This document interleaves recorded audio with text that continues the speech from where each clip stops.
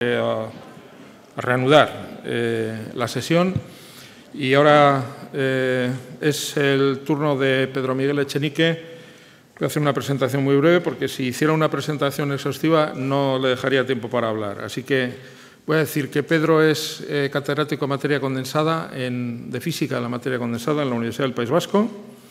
Preside el CIGNA Nogune y el Donostia International Physics Center. Él es doctor por la Universidad de Cambridge y por la Universidad de Barcelona, visiting professor, y profesor en, en, la Universidad de Cambridge.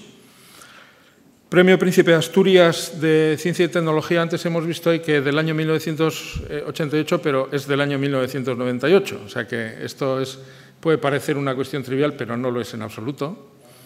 Para, para Pedro no lo es. Es también eh, premio más Planck de Física y en este momento preside el, jurado del, premio Princesa de Asturias. Esta es la, actual denominación. Bueno, y sin más, Pedro, muchas gracias por aceptar nuestra, nuestra invitación para estar hoy aquí y tienes la palabra. Bueno, eskarrik asko gonbida penagatik posik natorkizue eta handiz, Iñako, eskertzen convidatu izana. La verdad es que tenía mi preocupación antes de venir aquí de qué podía decir que fuese útil, pero después de oír las fascinantes ponencias y los consejos prácticos que me han impresionado por su inteligencia, por su visión y por su también transmisión de una cierta angustia, creo, sin falsas modestias, que igual no es del todo inútil mi intervención. Aprovecharé la frase que ha dicho Iñaco al comienzo de este simposium, al decir que él nunca ha dicho que no a una solicitud que valga la pena para pedirle que no me corte y que me dé un cierto tiempo si me paso, tengo una ventaja y es un pequeño chantaje. Si no lo hace, recordaré su grandioso comentario sobre Bilbao, que se trasladará al ámbito de la cultura vasca. ¿no? Él podría haberle llamado también consejos a una joven científica. Mis colaboradoras ya me han reñido, pero en euskera y en inglés no hay diferencia. Pero bueno, cuando diga científico quiero decir científica, etcétera, no hay ninguna duda en este punto. El origen de esta charla es una petición de la Comisión Europea hace muchos años para dirigirme a los Marie Curie y luego se tradujo en una petición de Euskampus para hablar a investigadores aquí y también en la Complutense de Madrid. Pero aquellas charlas eran de dos horas. Yo usaba la primera hora para hablar de características de la ciencia y la segunda para hablar de consejos prácticos.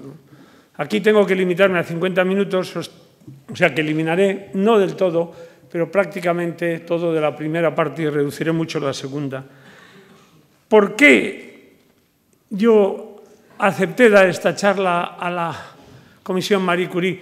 Como he visto que esta investigadora francesa, la editora de Sáñez, pone, pone la vejez un poco pasado los 34, con lo cual, con lo cual yo, creo que, yo creo que tengo libertad para decir lo que me dé la gana porque a mi edad hasta las humildades empiezan a ser, las falsas modestias empiezan a ser ciertas. Me preocupaba siempre ver que los jóvenes investigadores no son realmente felices en su trabajo. Hoy tienen que estar, a diferencia de nuestro tiempo, justificando continuamente lo que hacen. Se encuentran bajo una gran presión y yo creo que esto no es bueno para la creatividad, que es la esencia de la actividad científica. Y me daba mucho, mucha pena ver cómo grandes inteligencias se estrellaban, se estrellaban en, sus carreras.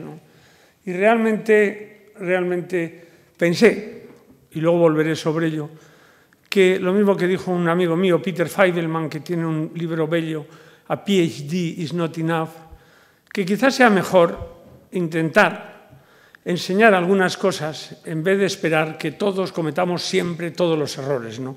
que es mejor aprender de las experiencias de otros. En realidad este título, como sabéis, los españoles, está copiado de la traducción del libro de Ramón y Cajal, ¿no? Consejos a un joven científico. También es el título de un ensayo bellísimo del gran inmunólogo inglés, Peter Medawar, ¿no? El, que es premio Nobel, fue presidente de la Royal Society. Es verdad que la ciencia en tiempos de Cajal tiene algunas cosas parecidas a las de ahora y algunos valores, algunos valores eh, siguen siendo válidos. La independencia de criterio, la curiosidad intelectual, perseverancia en el trabajo, amor a la gloria, patriotismo. Las frases que dice Cajal sobre la patria, no quiero ni pensar la consternación que, producirían si las dijese un vasco o un catalán. Pero son verdades, es querer lo mejor para su país, el mejor patriotismo, querer lo mejor para su país, ir fuera a aprender y poner los hábitos de los países desarrollados aquí donde ya hemos visto este brillante investigador de Murcia, que tuvo una gran oportunidad que por lo visto nos ha repetido en los, en, los siguientes diez años en cuanto a creación de condiciones de trabajo. ¿no? La ciencia de Cajal, sin embargo, y de Medaguar, en cierto modo nos parece arcaica. ¿no? Hoy la ciencia es parte de los procesos económicos de los países desarrollados y se requieren otras cualidades. Pero el mensaje de esta charla que tienen muchas cosas en común, aunque con otra perspectiva, con, algunas de las que se han oído aquí, es que las habilidades para sobrevivir en ciencia pueden ser aprendidas. Pueden ser diferentes dependiendo del trabajo, etc. Aquí veo que casi todo es ciencias biomédicas. Creo que la competencia en biomedicina todavía es superior a mi campo, a la física, pero lo importante es que pueden ser enseñadas. Muchos de mis colegas no son de esa opinión. Piensan que hay que hacer ensayo y error y que sobrevivan los más, los más fuertes o los más flexibles o los más hábiles. Yo creo que no, yo creo que es mejor aprender de las experiencias de otros que cometer todos los errores. Este libro que he citado antes, el libro de Peter Feiberman, me ha servido para preparar esta charla, como otros muchos. Uno en que me he basado mucho es el libro de Wilson, un libro maravilloso, con Consilience, hay otro libro también que les recomiendo leer, que es uno de los ejemplos maravillosos de creatividad, que es Apología de un matemático de Hardy. No hay que olvidar Miscellany, por ejemplo, de otro gran matemático, el anfitrión junto con Hardy del gran Ramanujan en Cambridge, o los clásicos como Holton, como Einstein, como Planck, Phil Anderson, Watson, por ejemplo, o Wilczek. Por supuesto, la responsabilidad de mis consejos es solo mía. Y si yo quisiera ahora liquidar la charla en una frase, citaría a Sidney Brenner, que un día me dijo que si un senior se pone a dar consejos a los jóvenes es porque ha entrado en una etapa de, obsolescencia ignorante. ¿no? Claro, eh, eh, dicha esta frase, él se puso inmediatamente a darme consejos, pero... Eh, entonces, el primer consejo, obviamente, él decía, no, tú tienes que ser entre los dos mejores del mundo de tu campo, o si no, entre los 20, claro. O el mejor consejo es ser excelente, claro. Y naturalmente, aun siguiendo todos mis consejos y ser excelentes, existe una probabilidad de que no tengáis éxito. Porque en ciencia hace falta también una cierta suerte. Y unos las tienen, otros no las tienen. La suerte hay que buscarla. Pero la suerte se puede tener o no tener. Ahora, antes de empezar con los consejos concretos, sí que quiero resumirles tres cosas que me parecen importantes y particularmente una sobre la ciencia. La primera, que no es trivial, es que cualquier tiempo pasado no fue mejor. Nosotros, ah, bueno, aquí tenía lo de... Cualquier tiempo pasado no fue mejor. Todos ustedes, igual no, porque ahora hay una tendencia a no cultivar la memoria, que es un error, porque la creatividad en parte es relacionar cosas diferentes y para relacionarlas hay que tenerlas. Y, otra, y la creatividad también es encontrar soluciones para problemas sobre los que no hay recetas y ahí la memoria ayuda mucho. Nosotros cultivábamos quizás excesivamente la memoria en la escuela, no sé si ustedes conocen las coplas famosas de Jorge Manrique, ¿no? ¿Cuántos han leído aquí las manriqueñas? esta es una información sobre la edad, pero...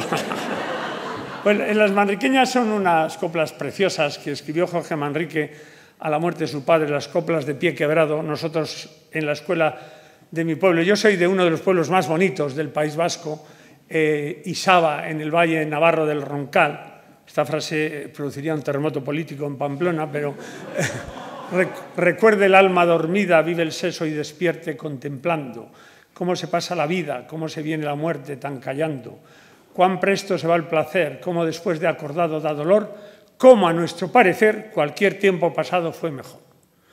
Esto nos pasa en ciencia. Yo cuando hacía el doctorado, en los cursos de doctorado en una universidad fantástica, la mejor universidad del mundo, la Universidad de Cambridge, la universidad donde en un laboratorio fantástico, el Cavendish Laboratory, donde se descubrió el electrón, el neutrón, la estructura doble hélice del ADN, que se descubre en el laboratorio de física, no en el laboratorio de biología molecular, pues decía, este Einstein, siento los ejemplos de física, claro, este Einstein, el efecto fotoeléctrico, llega un fotón, saca un electrón, la diferencia de energía, ¡pum!, premio Nobel. Vaya suerte, ¿no? Vaya suerte, claro. Eh, este es una... Este es una este es un error que el propio Einstein cometió. Einstein se, remite, se refiere a la óptica de Newton como la maravillosa infancia de la ciencia. Entonces podemos tender a pensar que aquellos sí que eran buenos tiempos. Pues no, porque los problemas con que ustedes o vosotros os enfrentáis son mucho más difíciles que los que yo me enfrentaba al hacer el doctorado. En 1973 empezaba en la Universidad de Cambridge un chavalito. Pues, sin embargo, tenéis equipamientos conceptuales y experimentales y materiales como nunca tuvieron otros. O sea que los problemas son muy difíciles, pero estáis equipados para resolverlos. Por lo tanto, tenéis un tiempo fascinante of us, delante de vosotros, y no vais a tener ningún problema. Primero, pues, cualquier tiempo pasado no fue mejor. Segundo, no existe, frente a lo que se dice el científico, hay científicos. Si uno lee la doble hélice de Watson, ve cómo en esa historia hay científicos de todo tipo. Rosalind Franklin, Bragg, Perutz, Kendrew, Watson y Crick, todos muy diferentes. No hay un modelo de científico. Hay científicos, todos diferentes, pero hay algunas cosas que comparten todos los científicos. Una, y esto lo dice muy bien Hardy, la primera es curiosidad intelectual. Que, por cierto, en muchas de las recomendaciones de esta tarde he visto la angustia de la presión por los puestos, etc. Y es verdad que hay que, es muy importante ser PI, es muy importante ser jefe de grupo y es muy importante ser, eh, tener puestos permanentes. Por supuesto que sí, yo me referiré a ello, pero son medios para un fin. El fin de un científico es avanzar en el conocimiento y traer algo nuevo. Respetamos al que trae un libro pequeñito a la biblioteca, no al que lleva la biblioteca en la cabeza o es el jefe de grupo. No hay que confundir los fines con los medios. Estas cosas son medios y no podemos hacer que los medios se conviertan en fines porque estamos pervirtiendo el proceso. Si ustedes hacen un trabajo serio, bueno y lo comunican bien, tendrán todas esas cosas. Lo demás, como dice el Evangelio, algo que tampoco mis hijas, si les citase, sabrían de qué hablo, se les dará por añadidura. Yo no soy nada religioso. Bueno, volviendo, el primero es intelectual, curiosidad intelectual. El segundo es orgullo profesional, muy importante, hacer las cosas bien. El mismo orgullo que tiene un pelotari cuando juega bien o que tiene alguien que hace una cesta de mimbre bien. Hay que hacer las cosas bien. Y eso, volveremos a este punto, exige competencia técnica. Y el tercero, por supuesto, es ambición, deseo de reputación. Por supuesto, los científicos somos vanidosos. No es malo ser vanidoso. Infinitamente vanidoso es peligroso, pero vanidoso es bueno. La posición, el poder o el dinero. Y luego hay otras muchas cosas, pero estas creo que compartimos, compartimos todos estas cosas. Por eso los investigadores, por eso los investigadores no tenemos que avergonzarnos, ni de ser ambiciosos, ni de tener orgullo profesional, ni, ni tenemos que estar siempre justificando lo que hacemos perdiendo, perdiendo el tiempo. Y luego, antes de entrar en los consejos, creatividad. La ciencia, por encima de todo, es creatividad. Es sorprendente. Ahora, ahora si le preguntamos a un español quién es la persona más creativa de España, probablemente sea, me decía un amigo aquí de Granada, Eduardo Punset o Ferran Adrià que por cierto, tengo una reunión con él a las 8 de la noche, hoy no le diré que le he citado en este contexto, creatividad. La ciencia, por eso, al ser creatividad, no puede ser aprendida como una receta o como método. Solo hay una forma de aprender a hacer ciencia bien, haciéndola junto a los que la hacen bien. Pues es importantísimo salir fuera, ¿cómo no? Eso no es perder el talento. Perder el talento es que todos los que han salido no seamos capaces, de una forma irracionalmente estúpida, de crear condiciones para que puedan volver, sobre todo teniendo tan pocos científicos como tenemos. Pero salir fuera es una obligación, entre otras cosas para que vosotros no os enamoréis de vuestra forma de hacer las cosas, para que aprendáis no solo a aprender, por supuesto, sino formas diferentes de aprender, formas diferentes de ver las cosas. Otra cosa es que la ciencia tenga un método científico, pero insisto, el proceso creativo solo se puede aprender haciéndolo junto a los que lo hacen bien.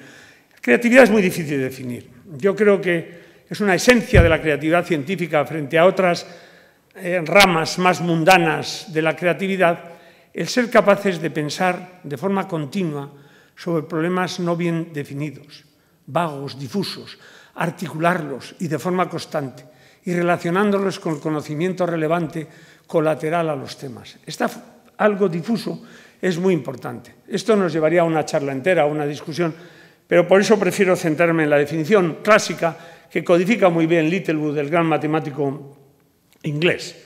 La primera es preparación. La preparación es algo consciente ¿eh? y la incubación es inconsciente.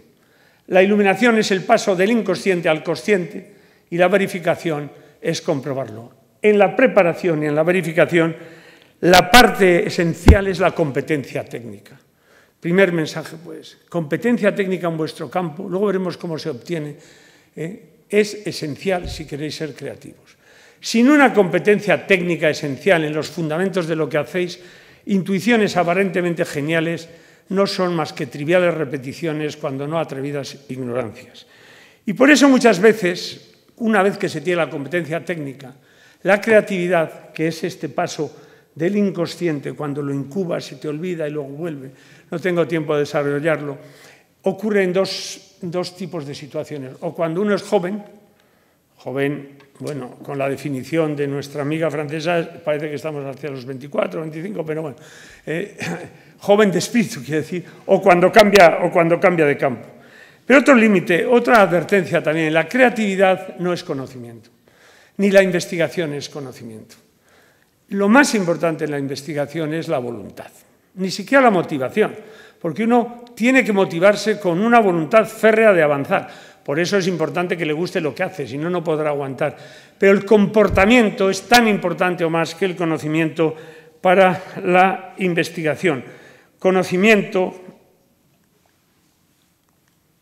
obsesión y riesgo son claves en la creatividad.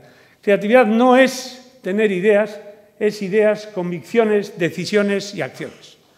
Lo dijo Cajal muy bien, toda obra grande, tanto en arte como en ciencia, es fruto de una gran pasión al servicio de una gran idea.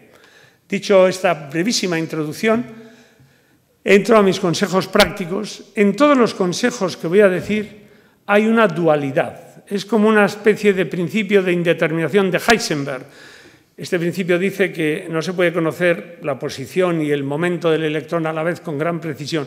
Lo que quiero decir es que en estos consejos, si me hacen demasiado caso, malo. Si me hacen poco caso, también malo. Es un equilibrio que tendrán que encontrar ustedes. Primero, elijan un buen sitio, un buen supervisor, un buen proyecto y unos buenos colaboradores.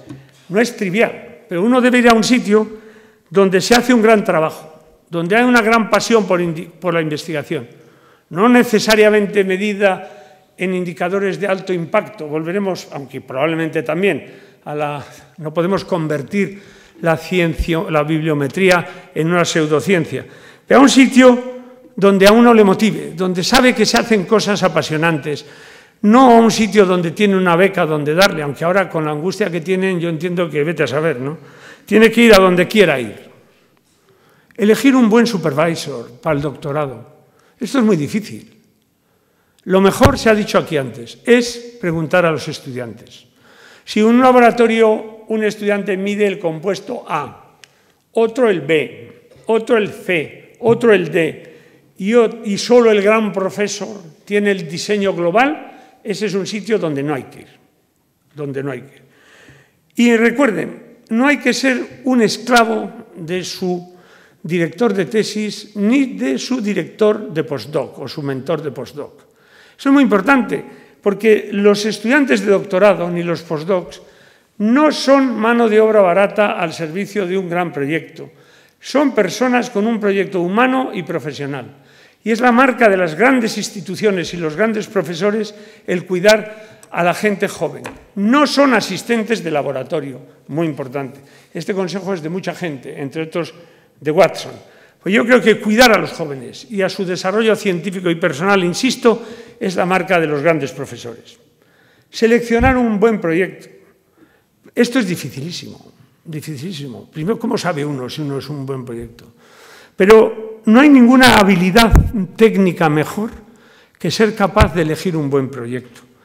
Y esto es hoy especialmente importante porque el conocimiento está creciendo exponencialmente. Y eso hace que crezcan igualmente el número de preguntas sin respuesta. Por eso tenemos una serie inmensa de cuestiones que pueden ser contestadas. La habilidad de elegir un buen proyecto es decisiva. Ahora bien, en el mundo real es muy difícil saber cuándo un buen proyecto, eh, cuándo un proyecto es interesante. Nunca sabes. Pero acordaros, requiere el mismo esfuerzo intelectual contestar un problema esencial, un gran proyecto, que un problema dificilísimo pero irrelevante. Por ejemplo, a mí el cubo de Rubik este me parece una cosa dificilísima. ¿Y qué? Elegir un buen proyecto. Ahora, muchas veces elegir un buen proyecto requiere habilidades diferentes que resolverlo.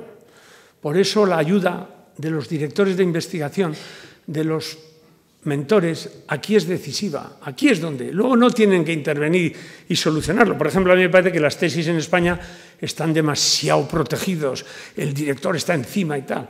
Alguien ha contado aquí en Cambridge, una vez que, te, entras, haz lo que quieras. Pero elegir un buen proyecto es importante. Y el director aquí es clave, se actúa con generosidad y con visión. Y yo creo que aquí hay que evitar el bandwagon effect o el efecto este de subirse al carro de, lo, de las modas. ¿no? Si uno va al carro de las modas, podrá tener muchas citas así, pero no será un investigador reconocido ni hará algo que merezca la pena, yo creo. Cuando le preguntaron a Rutherford en Cambridge, ¿cómo es posible que usted esté siempre en la cresta de la ola? Muy sencillo, contestó, yo hago la ola. Entonces, no os angustiéis, de todas formas, pensando ahora y volváis a dormir al hotel diciendo, ostras, ya tendré un buen proyecto. No, no, no. Cualquier buen proyecto es bueno porque siempre aprenderéis cosas, porque llevará nuevas cuestiones, etc. Pero esta capacidad de seleccionar un buen proyecto es igualmente importante para los que van a la industria. Por cierto, claro que hay que hacer un doctorado para la carrera académica y también para la industria. No por lo que uno aprende, sino por las habilidades que desarrolla al eh, pensar en un proyecto de investigación y culminarlo. La gente que hace un buen doctorado son gente con coraje intelectual, visión estratégica de futuro y sabe extraer lo esencial de problemas complejos. Eso viene muy bien a la industria. Y en este serie de consejos de seleccionar un buen proyecto, etcétera, y dónde ir, incluyo la industria. Si vais a la industria, solo un consejo. Elegir trabajar en un sitio donde los máximos responsables os vean, aunque os paguen menos. No elijáis un sitio donde os pagan bien, pero estáis apantallados de los que deciden, apantallados por gente que luego puede usar vuestro trabajo, porque entonces al principio estaréis bien y luego os estabilizaréis. Necesitáis un efecto escaparate. Y luego, por supuesto, colaboradores. Volveremos sobre ese tema. El segundo, aprender a nadar nadando, no leyendo libros sobre natación. Eso quiere decir que tenéis que aprender a hacer investigación haciendo investigación. La ciencia, dijo Sir Herman Bondi, es ser capaz de decir algo sin saberlo todo. Es muy importante. No tenéis que saber todo para entrar en un proyecto de investigación.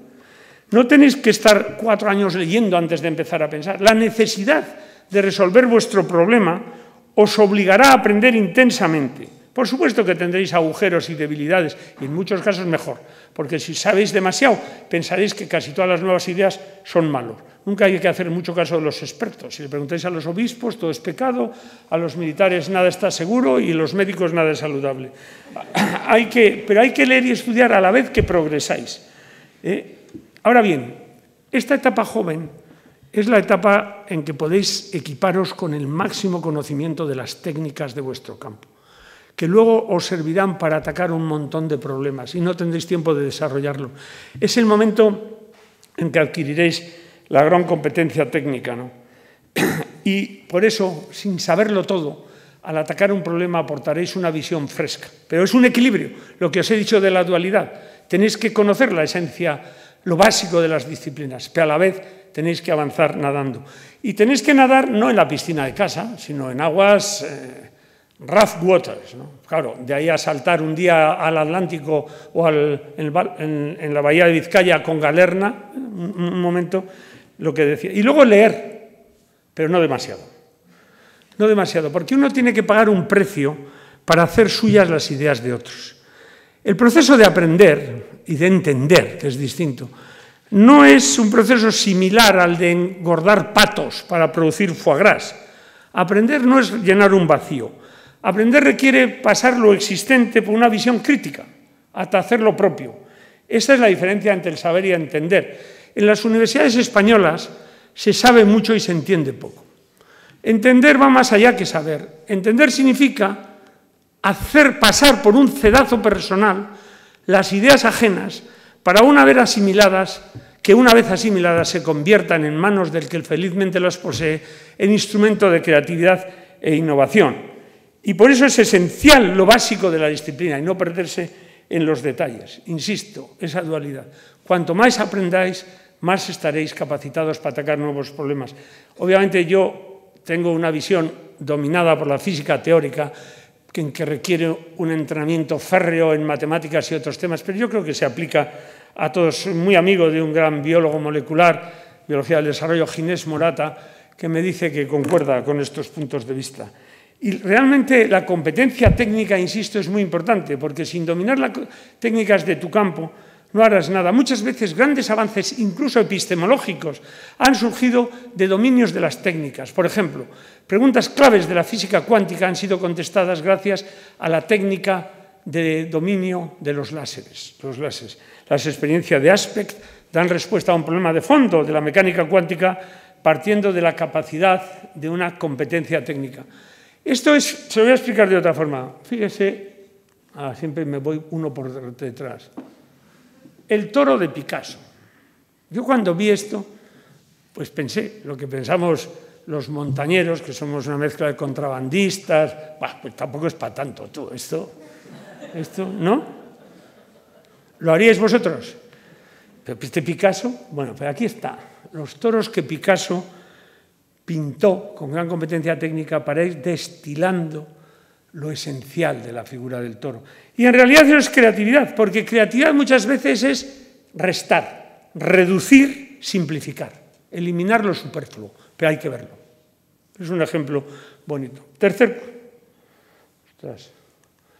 consejo, arriesgarse. Esto ya se ha dicho. ¿eh? Hay que tomar riesgos. Lo voy a decir de una forma sencilla. Bill Gates le dijo al director del laboratorio de computación de Cambridge, si usted acierta en todos sus proyectos, ha fracasado. Qué bonito. En realidad no hace falta ser Bill Gates. Si leen a Rabindranath Tagore, un poeta bengalí, en un libro precioso, Pájaros Perdidos, lo tienen igual. El que deja fuera todos los errores, dejará fuera la verdad. En realidad, el credo jesuítico, según Wilczek, el gran físico teórico Wilczek, es el mejor consejo para la investigación. En ciencia quizás hay que pedir perdón, pero nunca permiso. El que deja fuera todos los errores dejará fuera la verdad. Morbles. Cuarto, y esto no se ha dicho hoy aquí, perdonaros por perder el tiempo, no estéis obsesiones, no tengáis miedo a leer el tiempo. Ahora una cosa que me preocupa a mí, comparado con mi, época de, de postdoc y mi época de estudiante de doctorado, es que muchos estudiantes no van a los seminarios de otras cosas. Están obsesionados con su computador, están obsesionados con su paper, están obsesionados con su impacto y no van a oír otros seminarios, ¿no? Entonces, claro, yo iba a todos los seminarios, no entendía mucho, sigo sin entender. La mayoría de los seminarios yo si entiendo un 20%, voy más contento que chupito. Entonces, entonces, no tengáis miedo de perder el tiempo, ir a otros seminarios, y porque a veces la elección de un buen tema de investigación, a mí me ha pasado, no es algo que surja de un proceso racional con los supervisors.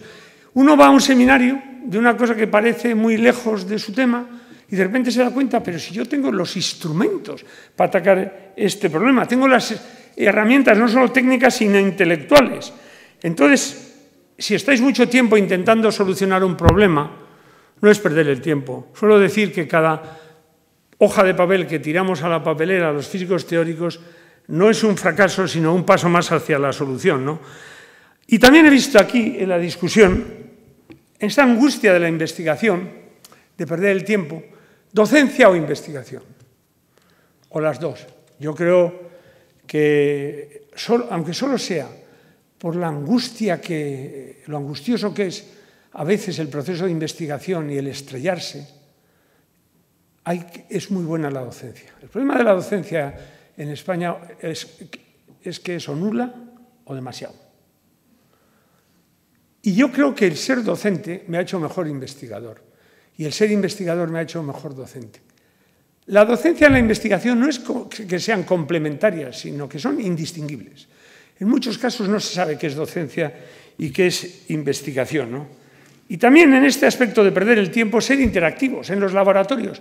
A nadie le molesta gente que se interesa por el trabajo de otros. Los teóricos que van a escuchar, los físicos teóricos a los experimentales, serán más fácilmente contratables, porque la gente quiere contratar a, a otros que se preocupan del trabajo de los demás.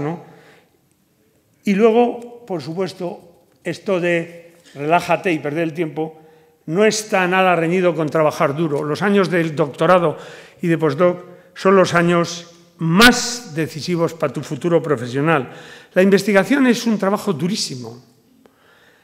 Incluso los más listos trabajan duro, puede que incluso más que los demás, pero trabajo duro en el sentido de un gran esfuerzo de concentración, no largas horas de trabajo rutinario. Y por eso yo os recomiendo que os relajéis leyendo cosas diferentes de vuestro trabajo. No trabajar todo el tiempo, tomaros mucho tiempo libre, claro. No vayáis luego a los laboratorios diciendo, Chenique ha dicho que mañana, tres meses de vacaciones. No, no, no. Pero yo uno de los sitios donde más aprendí en mi vida era en el té, malísimo, y en el café, muchísimo peor, del Cavendish Laboratory, donde media hora la mañana y media la tarde todos nos reuníamos con todos, en una aparente igualdad. Yo ahí vi discusiones maravillosas. Esas reuniones informales, quizás uno de los sitios más importantes de una universidad de verdad, sea una cafetería o el coffee time, etc.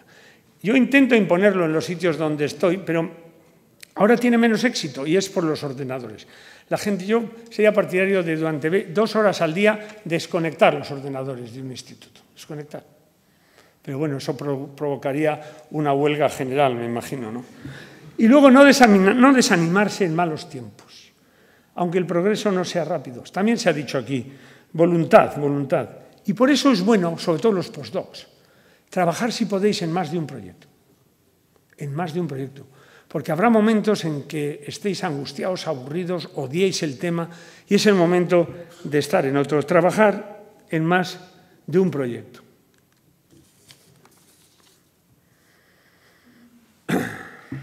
Y tener siempre a mano, si podéis, alguien que os eche una mano, valga la redundancia, cuando os encontréis mal, los mentores. Crick y Watson siempre dicen que siempre tuvieron a mano a Perutz a Kendrew y a Bragg en el Cavendish Laboratory. Otro consejo. Historia de la ciencia. Yo os recomiendo que leáis mucho Historia de la ciencia. Los pensadores originales, porque leyendo a esta gente os daréis cuenta de lo importante que es vuestro trabajo, que sois eslabones en la cadena, que vuestro pequeño proyecto es un link a otros y que la ciencia es progreso y que todas las olas del mar, como decía Gide, deben la belleza de su perfil a la retirada de las que les precedieron. Sois parte de un proceso colectivo. Y leyendo Historia de la Ciencia os daréis cuenta de la relevancia de lo que hacéis. Y sobre todo no leáis, cuando sois jóvenes, filosofía de la ciencia. Esto, el que quiera, a partir de los 70 o 80, pero... bueno, esto eh, espero que no me provoque un ataque dialéctico los especialistas, pero lo digo como lo siento, ¿no?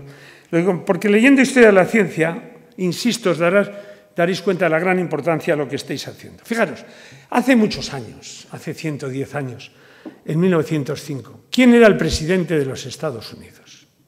¿Sabéis alguno? Y lo importante es que no importa.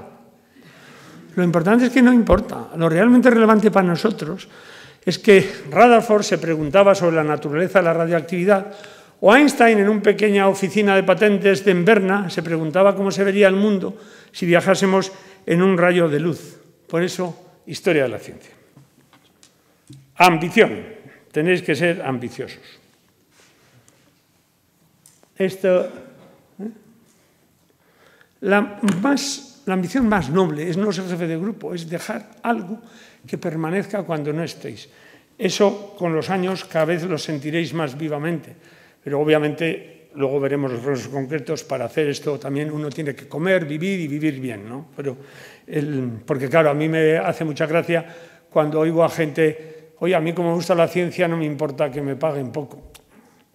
A, Botín, seguramente a la señora Botín también le gusta dirigir el Santander, ¿no?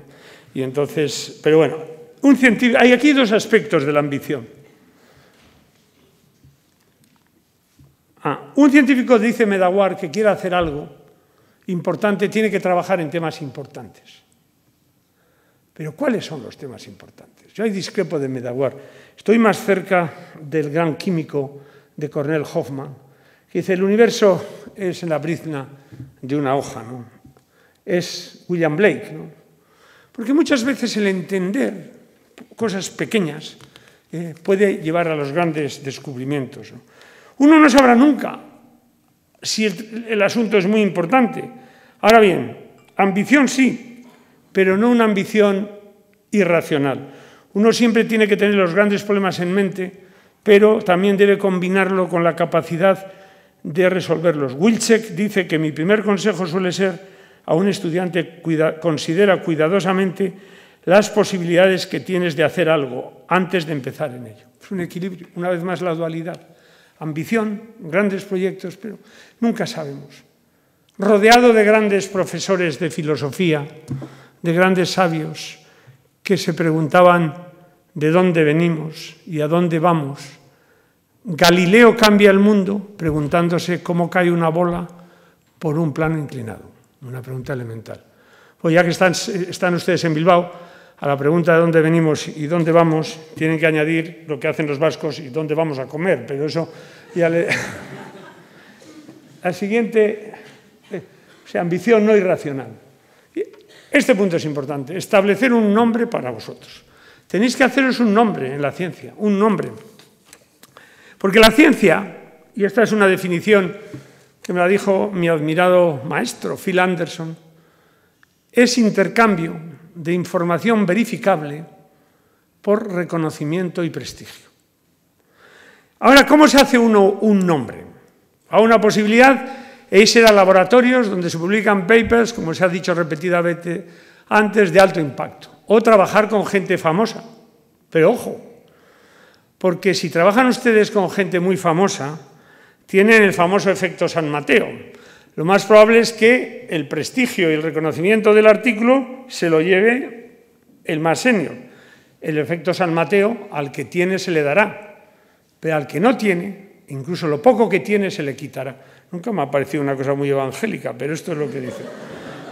Ahora, la mejor forma de hacerse un trabajo para un nombre, para sí mismo, es un trabajo sólido, riguroso y honrado. Nadie olvida una buena presentación de un estudiante.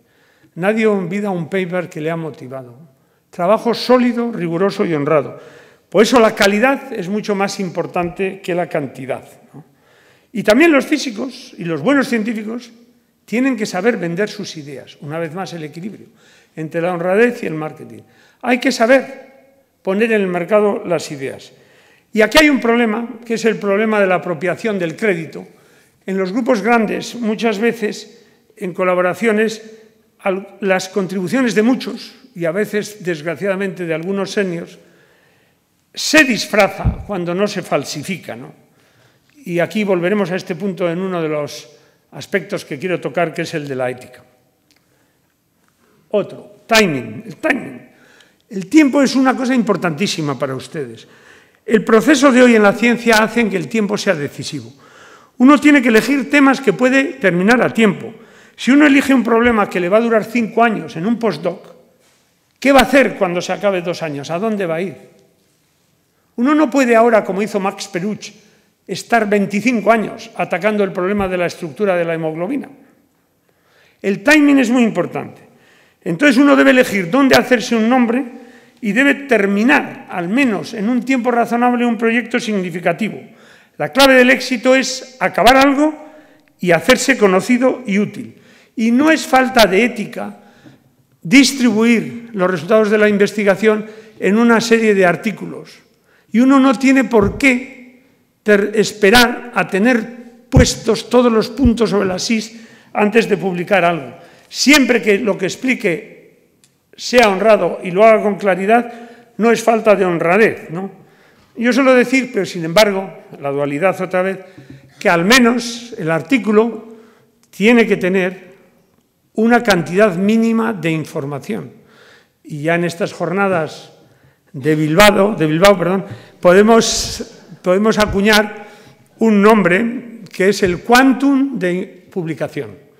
La cantidad mínima de información nueva que tiene que tener un artículo para ser publicable y, ¿por qué no? Le podemos llamar el publón, el publón. Tiene que tener al menos el quantum de información, el electrón, el plasmón, el neutrón, el publón.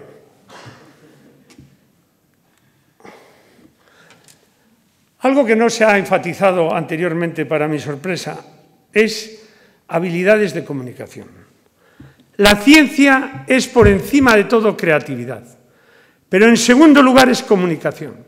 Comunicación a, nuestros pares, a los pares, y comunicación a la sociedad.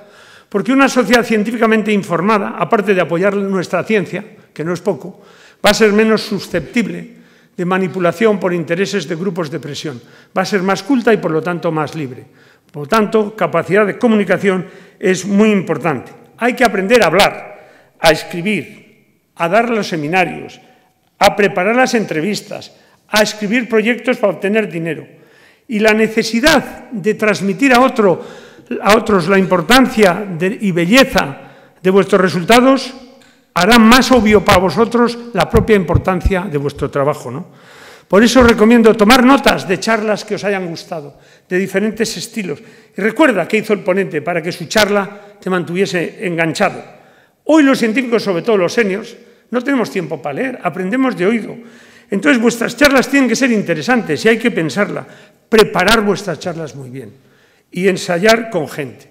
Y sobre todo nunca os paséis de tiempo, yo lo voy a hacer, pero por aquello de consistencia es una virtud de pequeñas mentes, pero vosotros no debéis hacerlo nunca. Nunca sobreestiméis ni, ni subestiméis la audiencia. Cuando vamos a un seminario queremos que nos cuente lo que ha hecho. No nos importa nada que nos repitas cosas que entendamos. De hecho, nos da una cierta seguridad, pues es el 20% que entendemos. ¿no? Eh, ahora, poneros siempre en la piel del oyente y decir, si yo estuviese allí, realmente me interesaría lo que voy a contarles. Y si no es atractivo para vosotros, pues imaginaros lo que va a ser para el otro. ¿no? Publicar. Esto es muy importante, publicar, pero no más rápido de lo que penséis. Hay que publicar, pero porque la connotación negativa del famoso cliché publish o perish está mal. Publicar es parte esencial de la investigación y hoy está ampliamente aceptado que una investigación científica no está finalizada hasta que no se ha escrito. A veces uno ha hecho una buena investigación, pero en el proceso se habrá ocurrido a todos. En el proceso de poner estas ideas sobre el papel es un momento de afinar y de destilar el pensamiento, y uno incluso se da cuenta de algunas debilidades y le ayuda a mejorar el propio artículo y también abrir paso a investigaciones futuras. Yo creo que este es una de sus grandes debilidades con respecto a mi generación. La mayoría de las cosas ustedes lo hacen mejor. Yo creo que yo estoy de acuerdo cuando oigo decir aunque sea un tópico, es un tópico verdad. Los tópicos son todo verdades. Salud, dinero y amor. ¿Por qué? Pues porque es verdad, claro. Entonces, los tópicos son todos verdades. Y ustedes son la mejor la, la generación más formada de España, la más injustamente tratada también. Esto volveremos al final, porque se les ha pedido un esfuerzo tremendo y, sin embargo, no se les da las oportunidades suficientes. Y no hacerlo así es no solo una injusticia social, sino un despilfarro económico. Pero esto es otro tema. las grandes, sin embargo, en esto, en, escribir, son peores que nosotros. Son peores que nosotros. Muchos publican bastante, pero muchos estudiantes de doctorado hacen la investigación y los resultados lo escriben los directores. Esto es un error supremo, porque si no se les fuerza a escribir, no lo harán nunca. No es que los directores con esto hagan nada malo, son absolutamente honrados, dan el crédito adecuado, el estudiante va eh, donde debe ir, pero tienen tal prisa por llegar al mercado que no pueden esperar. Eso es un error, porque si no aprenden ahora, no lo aprenderán nunca. Y la única forma que tenéis de aprender a escribir bien es escribir mucho mal. Obvio, obvio. La verdad es que para dar esta charla, pues bueno, tampoco habéis perdido mucho una hora, pero son verdades tan evidentes la única forma de aprender es leer buenos artículos, estudiar, leer, practicar siempre que se puede. A veces mucha gente, los investigadores jóvenes, es que estoy, este tema es tan fascinante que pararme a escribir el paper me retrasa. Eso habitualmente es una excusa, porque saben que no lo hacen bien y prefieren que saben que es una habilidad que no han adquirido. Y no olvidéis nunca que no hay mejor propaganda de vosotros que un artículo bien escrito. Eso es mucho mejor que 40 no sé cuántos y papers y papers. Aprender a escribir artículos que la gente leerá. ¿eh? Yo me acuerdo, el primer artículo que escribí yo, mi director, elegí bien, mi director de tesis, pudiendo elegir varios premios Nobel al Cavendish, yo elegí a un joven de 31 años, ahora ser John Pendry, probablemente premio Nobel en los próximos dos o tres años. Y cuando escribí el artículo, el primer artículo que escribí, que ahora me parece maravilloso, los artículos cada vez nos parecen mejores porque nos olvidamos de todas las pegas y todas las cosas. Eh, esto no es un fraude, es un proceso científico. Yo cuando leo mis artículos de hace muchos años me parecen mucho mejores que los de ahora. He olvidado todos los trucos y las cosas y no sé qué. Y me Yo escribí ese artículo leyendo literatura inglesa, copiando frases, un esfuerzo infinito. Me parecía que mi artículo era una maravilla literaria, second only to Dickens, algo parecido. Y entonces le di a Sir John, a, Sir John que me lo devolvió a los dos días con un papel en que decía, todo cambiado, mucho mejor, thank you for your notes. Todo, entonces fue una, una cura de humildad que me hizo, que me hizo mejorar. Yo creo que un buen paper tiene que empezar, por supuesto, describiendo el problema que va a abordar y las ideas principales que uno cree poder aportar a la resolución de ese problema. Pero frente a lo que se recomienda, yo soy muy contrario a acabar un paper con un resumen de lo que se ha dicho. Si ya lo has dicho, ya te habrán entendido. Un paper tiene que acabar, tiene que acabar explicando al lector la apuesta del autor por nuevas avenidas que nos le puedan servir, ¿no? No que me explique lo que ya he dicho en el paper, ¿no? porque la buena ciencia abre siente nuevas puertas. Y respecto a las publicaciones, una advertencia. Los referís no son estúpidos, no. ¿Eh? Todos habréis sentido la sensación de, después de enviar vuestro maravilloso artículo, recibir los referee report. Y la primera reacción es, pero ¿cómo este estúpido referí no puede entender la brillantez de mi contribución? Seguro que es que quiere pisarme, retrasarme, porque quiere copiar, esto no hay derecho, no sé qué. Bueno, una vez que cuando recibáis el referee report, una cena, buena, eh, a salir con los amigos, con los compañeros o compañeras, beberos un vaso de vino y, o una botella y al, al día siguiente volver al, volver al paper, volver al paper e intentar entender lo que dice el referí. Porque el referí es el lector más atento de vuestro artículo y a veces el único. A veces el único. No, no, no es broma. 50% de los artículos no los lee nadie. Y cuando os llegue, la reacción debe ser leerlo. Y si después de estudiarlo creéis que no tiene razón, en el proceso de contestarle seguro que afinaréis conceptos y a mejoráis como investigadores. Fíjate lo que le pasó a Einstein, la respuesta arrogante de Einstein. ¿eh? Leerlo un poco, así me bebo yo un poco de agua. Leerlo, respuesta de Einstein. I see no reason to address the in any case erroneous comments of your anonymous expert, Einstein. Pues bien, acertó. Afortunadamente no se publicó. Era sobre ondas gravitacionales, hubiese sido una de las vergüenzas en la carrera de Einstein. A los 50 años, creo que era Robertson, el de la métrica de Robertson y Walker, no tenéis por qué saber, el que le aconsejó así. Einstein, que reaccionó enfadándose con un referee report, hubiese hecho mucho mejor atendiendo las críticas del referí, porque resultó que el referí tenía razón. Siguiente punto. Creer en vuestras ideas, pero no infinitamente, pero en la misma dualidad. Es algo más fácil de hacer si realmente vuestro trabajo es interesante, pero no os enamoréis de vuestras propias ideas. Aceptar las evidencias negativas, no se puede dar a un científico un consejo mejor que el que dio Medaguar. El valor de una idea no tiene nada que ver con la pasión del que la tiene, crea en ella.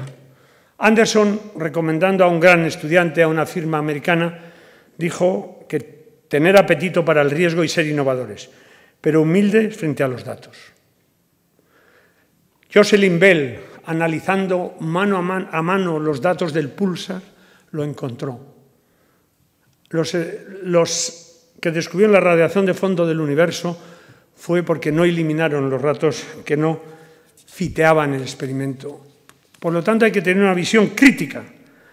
Tenéis que ser críticos, pero no supercríticos. Un equilibrio. Porque a veces hay gente que es supercrítica y resulta que ellos tenían razón. La supercrítica era lo que era erróneo, pero es bueno exponer constantemente las ideas a otros, ¿no? Eso es lo que dijo Newton. La forma de solucionar las cosas es estar siempre preparados a seguir, pensando continuamente en el problema, pero abiertos también a la corrección. Él no lo estaba porque estuvo siete años sin decirle a nadie la solución. Cuando a Newton le preguntaron, ¿cómo ha podido usted descubrir la gravitación? La respuesta es legendaria, pensando continuamente en ellos. Pero a la vez con firmeza en vuestras convicciones, pero abiertos a la crítica. ¿no? Siguiente consejo.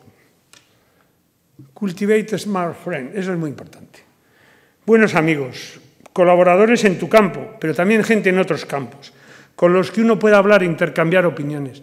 Por eso a mí me parece grande el sistema de Oxford y de Cambridge en los colleges, porque uno realmente aprende mucho más de los colegas que de los profesores, discutiendo los problemas, discutiendo con otros estudiantes, viendo formas diferentes de ver las cosas. Por eso es importante ir a los buenos sitios, porque ahí hay una masa crítica. Y aquí se ha dicho muy bien, estas escuelas se llaman networking. En realidad, si os fijáis, como la ciencia es creatividad y solo se puede aprender a hacer junto a los que lo hacen bien, al ir a esos sitios donde existen los linajes científicos, porque hay esas escuelas, los linajes. Cohen Tanucci, que ha venido muchas veces al País Vasco, premio Nobel de Física francés, un caballero, me contaba cómo él aprendió de Kastler y qué satisfacción fue para Kastler que él también fuese premio Nobel, maestro y discípulo. Solo comparable a la de Cohen Tanucci para ver que el año pasado Haroch, el nieto de Kastler, hijo, hijo intelectual de Tanucci, también fue premio Nobel. Linajes, escuelas. Por eso, cultivate small friends. Ethics, este es un punto que yo creo que deben discutir sin angustiarse en estas, en estas charlas, la ética. No me refiero a la falta de ética. Ostras, aquí voy. Es un momento peligroso para un orador cuando su entusiasmo por seguir puede ir en proporción inversa al de la audiencia porque siga, pero bueno. El... No me refiero a la falta de ética que es investigar en armas. Faraday se negó. Rutherford también. Rutherford se negó a dar la mano a Haber el del ciclo de Haber, pero también el de las bombas, el de los gases. Pero me refiero a otro tipo de fraude. El fraude científico. Aunque a ustedes les parezca que esto no es muy frecuente, hay un estudio publicado en el Thick Network que dice que el fraude científico se multiplica por 10 desde 1975. Hace unos años hubo un caso tremendo en nanotecnología. Los físicos siempre hemos pensado que esto del fraude es de los médicos y los biólogos. Sí, sí, bueno, no, no, hay una razón. Sí, ya no, ya no, ya hemos perdido la virginidad y la limpieza, ya estamos convencidos que no. ¿Por, qué? Tiene su lógica, porque como son temas más difíciles, la física es la más sencilla de las ciencias, es más fácil que la biología. Aunque la física puede especular, puede crear ideas nuevas, etc., mientras que la biología tiene que intentar descubrir lo que ha elegido la naturaleza y eso tiene una restricción muy fuerte. Son experimentos más complejos. Yo siempre pensaba que las condiciones de reproducibilidad de un experimento, siendo tan complejas, es muy difícil detectar un fraude. Pero hace unos años tuvimos el ejemplo de Henry Shawn, un, un niño prodigio en nanotecnología, que es la ciencia que estudia el comportamiento de la materia a escala del nanómetro, que es la, pues la milésima de la millonésima del metro, para que se hagan una idea, la vida funciona a escala nanométrica, el ADN, la anchura del ADN son dos nanómetros, y este publicó más de 90 artículos entre en 1998 y el 2002. Fue primer autor del 74.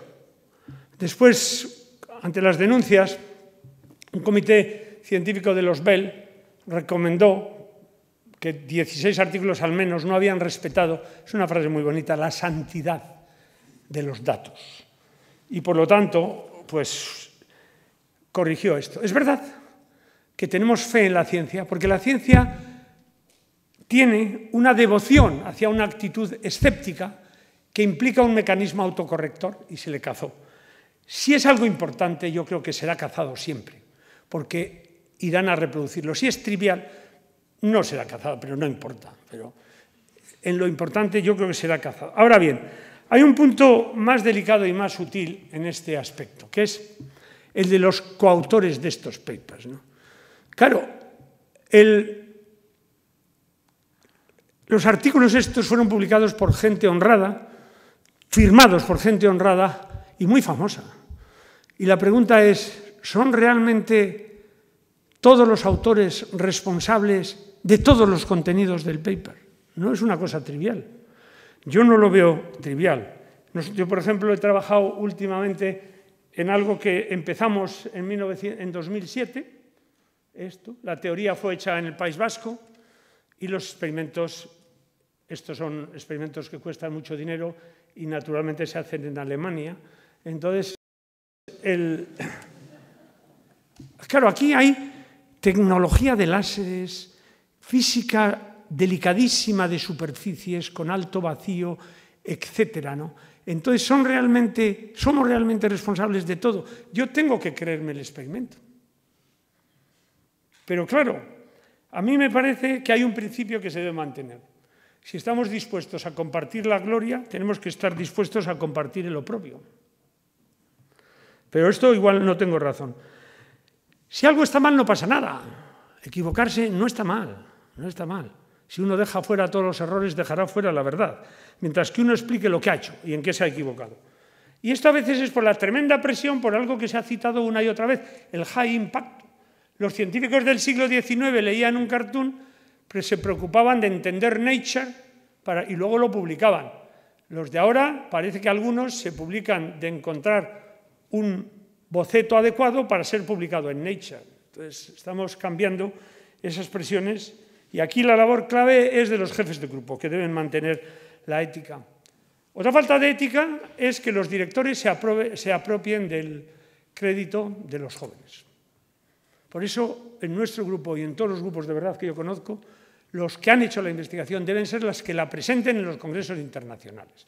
No el senior y luego agradeciendo a los otros. En general, no os preocupéis, diréis, ya me estarán tratando bien. Mi experiencia es que la, la inmensa mayoría de los jefes de grupo dan mucho más de lo que se recibe y son más generosos. Pero en los que no lo hagan es falta de, ética. Fíjese el ejemplo maravilloso del artículo en Nature de la estructura de doble hélice del ADN, de Watson y Crick. Bragg era el líder del laboratorio. Crick era estudiante de Peruch. Watson era un postdoc con Kendrew. Pero ni Bragg, ni Peruch, ni Kendrick firmaron el papel de la doble hélice. Ahora es muy distinto, porque la ciencia, aparte de la economía, conseguir los fondos. Yo no estoy diciendo un fundamentalismo. El agua pura produce cretinismo. Entonces, porque falta yodo. Pero, pero de ahí a beber en la ciénaga un equilibrio. ¿no? Por eso, la función clave de un investigador senior es promover la salud científica e intelectual de los jóvenes. Otra falta de ética es, por ejemplo, citar el trabajo más reciente de otros competidores y en el suyo el más antiguo, para dar la impresión que empezó el campo. Otro es esos que son especialmente críticos, que le dices cualquier cosa, no me convence. Nada les convence, excepto cuando a ellos se le ocurre no llegan primero. ¿no? Pero eso también. Y otro, ese otro truco es también implicar, bueno, lo habrán visto, le dices a alguien, a alguien siempre lo ha pensado antes. La atribución correcta del crédito es una de las cosas más importantes hoy en ciencia. Por ejemplo, Watson, al escribir la doble hélice, comete un error supremo, que es no dar el crédito suficiente a Rosalind Franklin, una mujer injustamente tratada por serlos. Fíjese lo que dice Medawar. En muchos caminos, especialmente en su fallo de dar crédito a donde pertenece, el joven Watson no ha mostrado un nivel equivalente a la espléndida aportación intelectual que hizo en el descubrimiento de la doble hélice. Y el problema de la apropiación del crédito es muy importante y con esto de los indicadores ahora es especialmente eh, clave de que, se haga, de que se haga bien. ¿no? Por ejemplo, ya acabo con esto para no dar la impresión que estamos en una ciénaga, pero me parece que que hay que... Si un joven, un joven senior, joven senior, 35, 40 años, habla con un postdoc joven, como ha pasado en nuestro grupo, eh, discute una cosa con él. Yo siempre les digo a nuestros jóvenes, hablar no es colaborar. Y al día siguiente recibe el joven un email diciendo, ¿cómo va nuestro paper? esto pasa. Y además es difícil que no pase, porque la colaboración e-, es imprescindible tal como va el conocimiento. Ahora bien, si nosotros colaboramos, tenemos que estar preparados para nunca decir que la idea es nuestra. Si hay una colaboración, la idea es de todos. Bueno, y con esto ya voy a acabar. Una cosa que a mí me ha ido muy bien, que me decían mis padres en la montaña barra, tienes que hacer esfuerzos, esfuerzos por no ser envidiosos. Ya sé que os parecerá una recomendación trivial, pero no, porque a veces uno ha trabajado fuerte, duramente, es más listo que otro y tiene menos suerte. Y tiene la tendencia de no disfrutar del éxito de otros. Si os entrenáis a disfrutar el éxito de otros, tendréis más éxito vosotros y disfrutaréis más de la vida. En resumen, mi consejo se resume en algo que leí el día pasado en el país a un entrenador de baloncesto. A la, a la perfección se llega con la pasión. Y para acabar, un consejo no ya a los jóvenes estudiantes, sino a los directores de laboratorios, si es que hay algunos aquí. Yo creo que pocos lo resumen mejor. Si os fijáis, ¿qué es lo que hizo grande a Florencia? No grandes planes con hojas Excel para presentar proyectos con montañas de papel inútil. ¿Qué es lo que hizo que Florencia, con 50.000 personas en el siglo XV, produjese a Leonardo da Vinci, a Michelangelo, Brunelleschi, Alberti? Elegir gente buena y darles libertad. Por eso yo cuando el rector decía que la apuesta de la cátedra por Iñaco funcionó bien, decía, claro, elige gente buena, Iñaco, y déjalo hacer. Por eso este es el mejor consejo a un director de laboratorio. Pero por decirlo de otra forma, usaré las palabras de Max Peruch, uno de mis ídolos. Este le conocí, por cierto, he visto que ha citado a alguien a Gordon, también le conozco mucho a Gordon. Yo soy fellow de, su college. O sea, es uno de, de, la suerte que uno tiene en Cambridge, poder hablar, aun siendo pequeño, con grandes luminarias. Pero Peruch me dijo una cosa que me impresionó cuando le pregunté cuál es el programa de televisión que más le ha gustado en la vida y dijo el mío, el que a mí me ha gustado más, Yes Prime Minister. Les recomiendo que lo vean. Y por eso acabo con las palabras de Peruch, fundador y primer director del Laboratorio de Biología Molecular de la Universidad de Cambridge. Selecciona gente extraordinaria y ofréceles libertad intelectual. Muestra interés genuino por el trabajo de los demás, genuino. Y da crédito en público a los colegas más jóvenes, en público.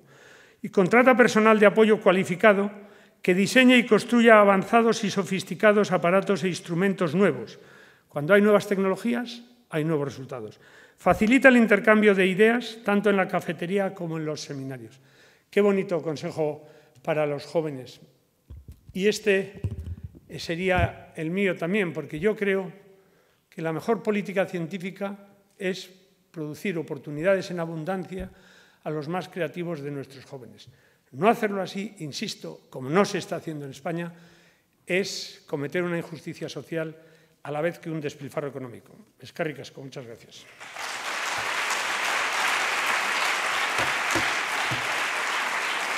Me he mantenido, me he mantenido en tiempo. ¿Tenemos preguntas?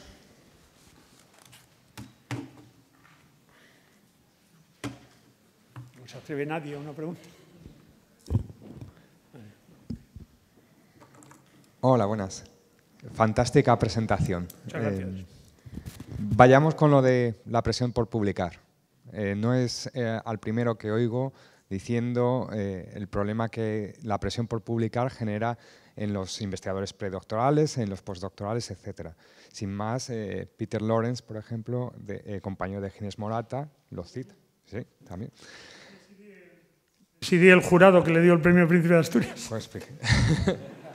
Entonces, si el sistema está dispuesto de tal manera que la moneda de cambio es cuántas publicaciones tienes para conseguir eh, tal contrato, tal eh, grupo, etcétera, ¿cómo cambiamos el sistema? Eh, ¿Y cómo jugamos con esas reglas? ¿O cómo hacemos el cambio de reglas? Solo hay un camino, la responsabilidad ética de los seniors. Pero claro, si todos queremos sacar al nuestro y nosotros tenemos, yo no sé cómo hacerlo, no soy yo quien para dar consejos a los demás. Hay mucha gente muy buena, muy preocupada sobre estos temas.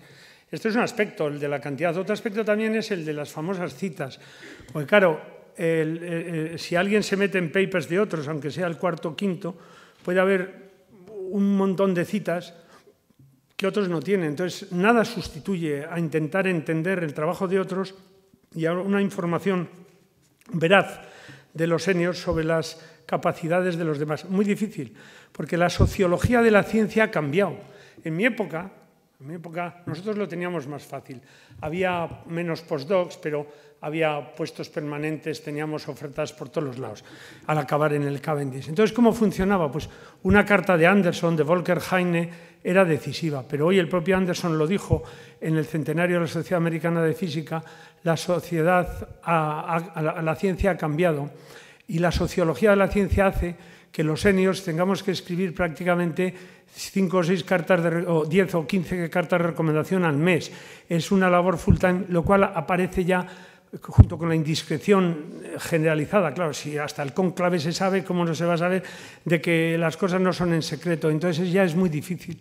No hay más solución que, la responsabilidad ética de los seniors. Hay otra cosa también, que es los managers eh, que no se guíen por indicadores. Insisto, no podemos hacer una pseudociencia. Eso no quiere decir que los indicadores no sean útiles.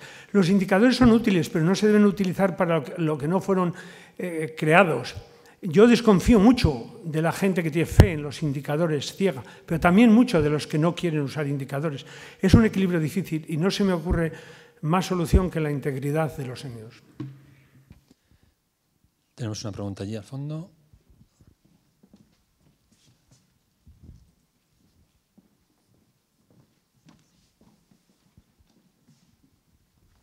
Pues yo también he disfrutado mucho, pero de las mil cosas que preguntaría, quería abundar en esta cuestión.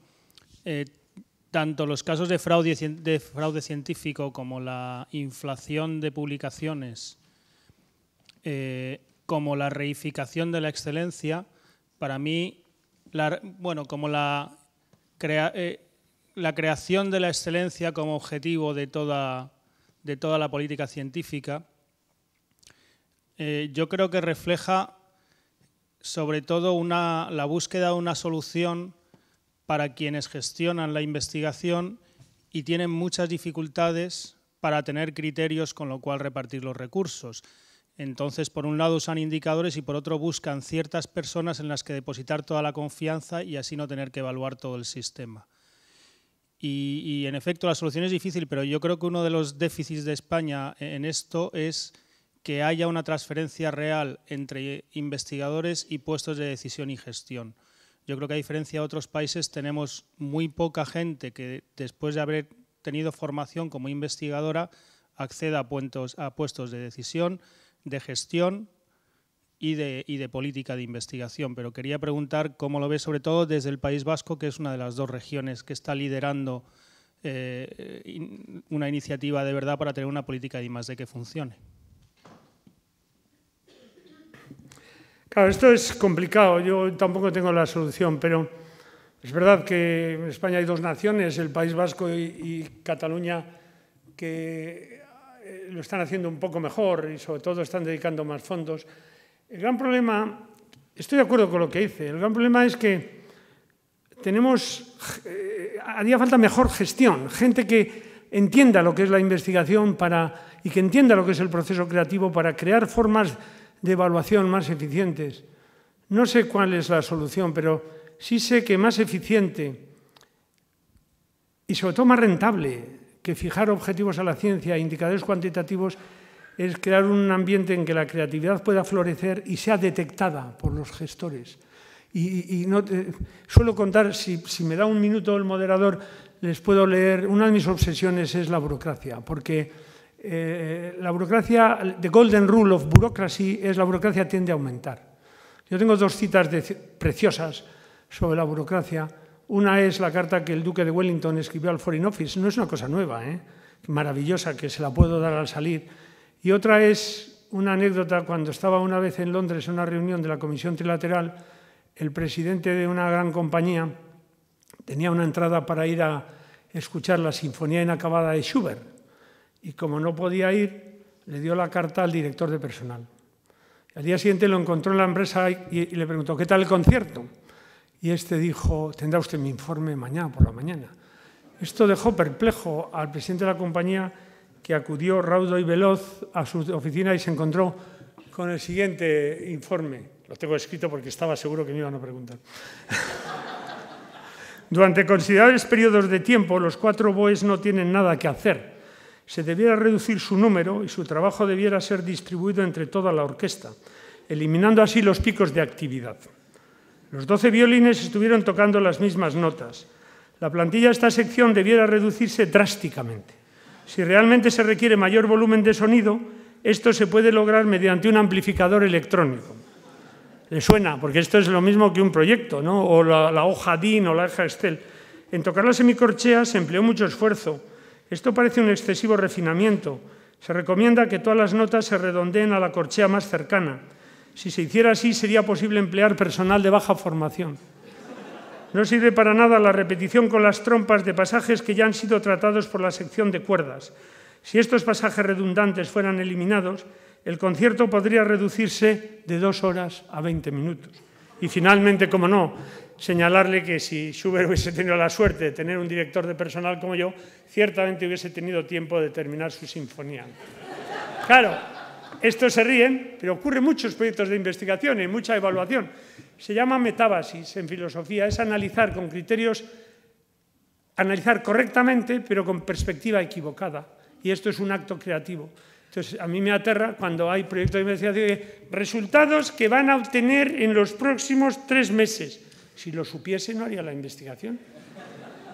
ya sé que ridiculizarlo un poco, pero, pero eh, se está creando una cultura de la evaluación dirigida también en Science in Nature, en que los editores jóvenes son gente sin poca eh, experiencia científica, y no, no, tengo nada contra Science in Nature, al revés. Yo también intento publicar, y de hecho publico, eh, no vamos a presumir, pero, el, pero se está creando una cultura de la métrica equivocada. Entonces, ¿cómo, por ejemplo, ¿cómo es posible que haya chavales que en un doctorado publiquen 28 artículos? ¿Pero ¿Cómo es posible? Algo va mal. ¿Cómo es posible que haya investigadores al menos en física, que publiquen 50, 40 artículos al año. Es un artículo a la semana. Algo estamos haciendo mal. Y si los que evalúan no detectan eso, es que algo. Pues Peter Lawrence lo ha atacado y hay muchos más que lo han atacado. el, alto impacto también, hay que tener mucho cuidado. Imagínese un artículo en una revista de, baja bajo impacto que tiene, que tiene mm, mucho más citas que otra en una revista de alto impacto. Pues probablemente el de bajo impacto sea mejor, ¿no? El artículo más citado del Donostia International Physics Center, con 5.000 citas en 15 años, que no está mal, es en lo que ahora llaman segundo cuartil. Esto de los cuartiles yo no sabía. ¿Han oído lo de los cuartiles? Bueno, pues le pregunté a Jean-Marie Len, Premio Nobel de Química, ¿qué opinas de los cuartiles? Y me contestó, ¿qué es un cuartil? No sé, pero por otro lado hay que evaluar. No lo sé, no soy lo suficientemente joven como para saberlo todo. Bueno, muchas gracias y terminamos aquí.